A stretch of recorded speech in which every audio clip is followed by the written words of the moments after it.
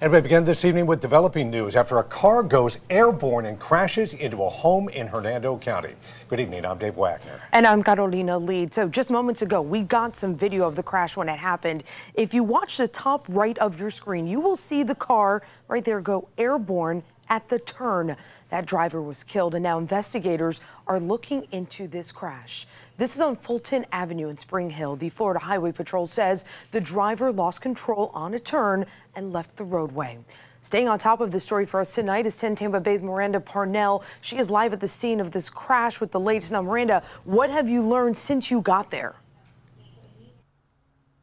We just spoke to the homeowners a few moments ago. They tell us that their neighbors knew something was wrong when they saw the driver come barreling down this road, no brakes in sight. They tell us that the driver hit that embankment, went airborne, coming straight through their yard, still in the air. And I want you to take a look at the tree here. The homeowner estimates that this damage here on the tree is about 11 feet up, then crashing into the house. Now we spoke to the homeowner's wife. He tells she tells us that other drivers knew something was wrong when the original driver blew through a stop sign. Those people followed him and they continued to come over here and help put out the fire after the car hit the home.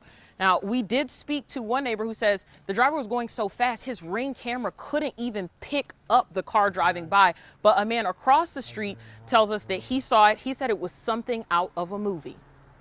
As I went and I came out, I saw the cop cars. Uh, I spoke to the neighbor across the street, and they let me know that a car had hit the side of the house. So I went to go look at the cameras, and when I looked at the cameras, I got to see the car going very fast, passing on this side, and airborne into the house on the side.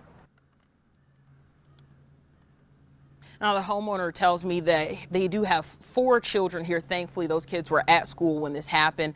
And they do tell us that the driver passed away at the scene, although they were able to dampen those flames. Right now, their house has all of this damage right now, but they tell us they are working to get it fixed. They still don't know when they will be able to return into their home. Right now, they're out indefinitely as the house has no water and no air.